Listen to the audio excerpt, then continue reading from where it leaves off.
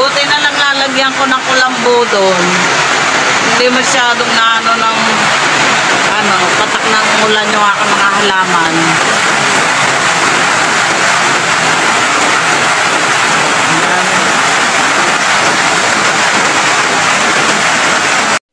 Ito, maluluto